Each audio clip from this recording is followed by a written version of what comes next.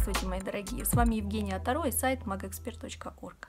Сегодня хочу вашему вниманию предложить гороскоп Таро на март 2020 года. Как обычно, буду доставать всего три карты из колоды и смотреть три основные сферы жизни. Первая карта про любовь, про отношения, про личную жизнь. Вторая карта про работу и карьеру, про какие-то достижения на этом поприще. А третья карта про здоровье и общее самочувствие.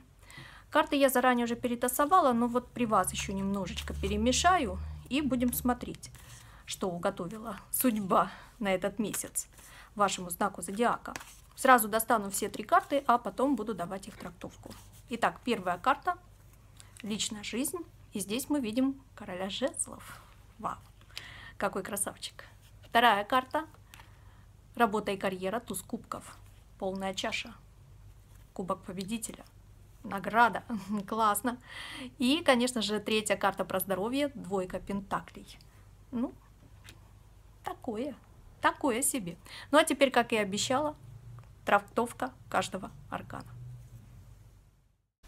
Девушки, женщины, если вы сейчас в активном поиске находитесь, то вам нужно активизироваться максимально, потому что на вашем горизонте может появиться очень интересный мужчина, ну настоящий альфа-самец, сильный, крепкий, человек слова, по типу пацан сказал, пацан сделал, в общем, то, что надо, то, что доктор прописал. Короче, надо брать. Однако все-таки воздержитесь от инициативы и позвольте мужчине самому вас завоевывать.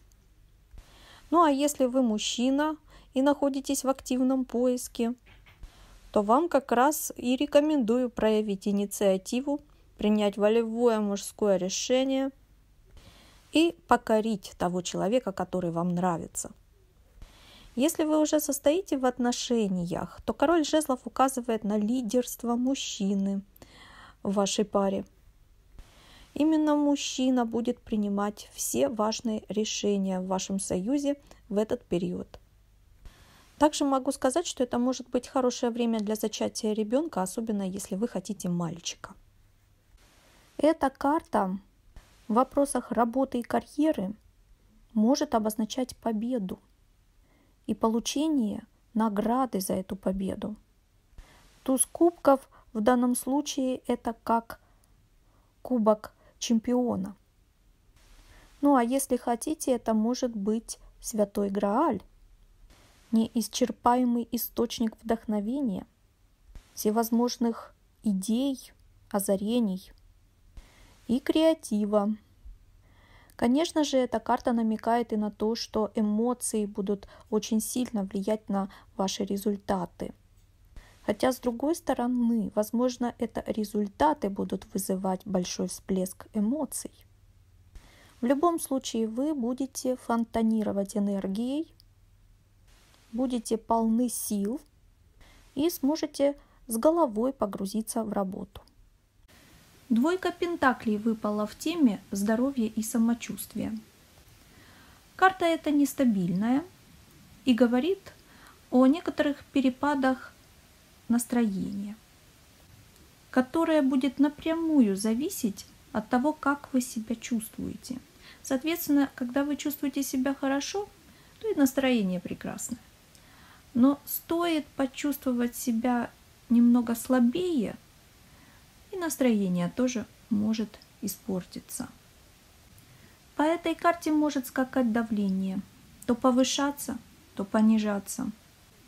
Также у некоторых эта карта может обозначать приливы и отливы. Ну, я думаю, вы понимаете, о чем я говорю. Также я заметила такой симптом, что у людей, кому досталась эта карта, часто подкашиваются ноги. То есть есть какая-то слабость в ногах а это связано с неуверенностью в себе и в своем финансовом положении. И еще, эта карта связана с работой парных органов. Парные органы – это те органы, которые имеют пару. Это глаза, это уши, это руки, это ноги, это почки, легкие. Ну, остальные органы я уже не буду перечислять. Я надеюсь, что вы немножко знаете анатомию. Соответственно, эти органы нужно беречь. Также эта карта может указывать на то, что будет полезно и эффективно в этот период принимать таблетированные средства. Но и о физической зарядке тоже не забывайте. Я бы по этой карте, ну, глядя на изображение, порекомендовала вам почаще пускаться в пляс и натанцеваться от души. Я бы даже сказала, что до головокружения и вертолетиков в глазах. Это разгонит кровь, ускорит обмен веществ и повысит настроение и создаст хорошее самочувствие. Ну что ж, я благодарю вас за внимание, мои дорогие. Спасибо, что посмотрели это видео. Также благодарю вас за поддержку в виде лайков, комментариев и до встречи в новых видеосюжетах. А пока-пока. Чао.